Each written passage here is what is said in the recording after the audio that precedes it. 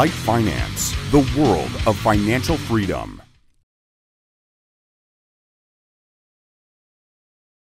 Chào mừng bạn đã quay trở lại với kênh youtube của Life Finance.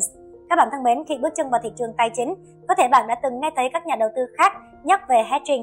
Đây là hình thức phòng ngừa rủi ro khi thị trường biến động ngược lại với những gì nhà đầu tư kỳ vọng.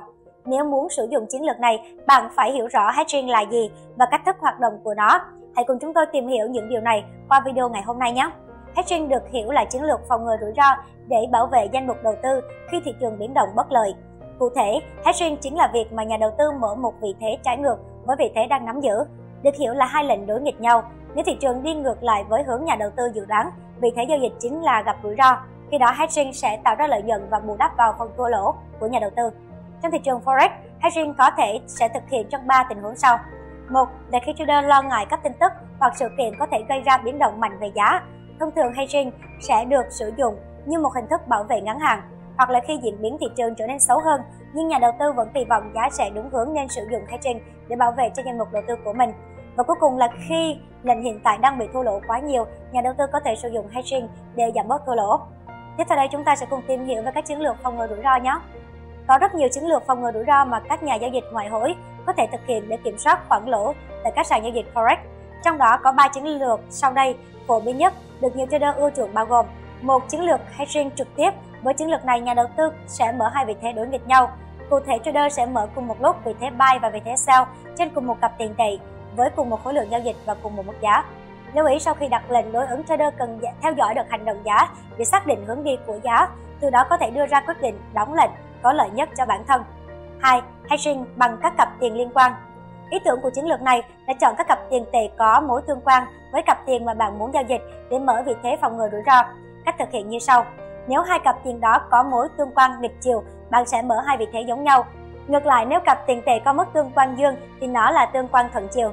Mức tương quan trên cộng 0.8 và dưới trừ 0.8 là mức tương quan mạnh mẽ nhất. Nếu chỉ số tương quan bằng 0 thì chứng tỏ cặp tiền này không có bất cứ một mối tương quan nào. Để xác định mối tương quan hiệu quả giữa các cặp tiền, nhà đầu tư nên cài đặt công cụ mà trên hệ số tương quan. 3. Chiến lược tiếp theo là hedging sử dụng hợp đồng quyền chọn. Hợp đồng quyền chọn là một thỏa thuận đặt trước trong đó trader có quyền nhưng không kèm nghĩa vụ mua hoặc bán một cặp tiền tệ ở một mức giá xác định, ngược lại một thời hạn nhất định. Nếu bạn đang mở lệnh buy, nhà đầu tư có thể hedging bằng vị thế bán quyền chọn mua hoặc mua quyền chọn bán. Ngược lại, nếu bạn đang mở lệnh sell, nhà đầu tư có thể hay đinh bằng vị thế bán quyền chọn bán hoặc mua quyền chọn mua. Mặc dù hedging thường được sử dụng để hạn chế rủi ro cho các nhà giao dịch, nhưng việc thực hiện không tốt chiến lược này có thể gây tai hại cho tài khoản giao dịch của bạn. Sau đây là những lưu ý khi sử dụng phương pháp hedging mà bạn cần nhớ. Hãy xem xét về chi phí giao dịch hedging đi kèm với một cái giá phải trả, đó là chi phí giao dịch. Vì vậy hãy xem xét tỷ lệ chi phí lợi ích của việc tham gia một giao dịch có hedging. Thoát khỏi hedging đúng cách để thoát ra khỏi hedging, bạn cần phải đóng một trong hai vị thế. Vấn đề chính của thoát khỏi nó là chọn đúng thời điểm. Trước khi đóng một trong các vị thế, bạn phải chắc chắn về hướng đi xa hơn của giá, nếu không tất cả các biện pháp được thực hiện để bảo vệ vốn của bạn là vô ích. Kinh nghiệm giao dịch cực kỳ quan trọng.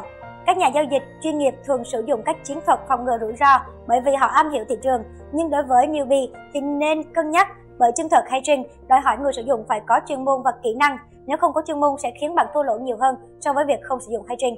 Hy vọng video này sẽ giúp các bạn hiểu rõ hơn về hedging và nắm được một số chiến lược hedging trong Forex. Cảm ơn các bạn đã chú ý theo dõi và lắng nghe. Xin chào và hẹn gặp lại.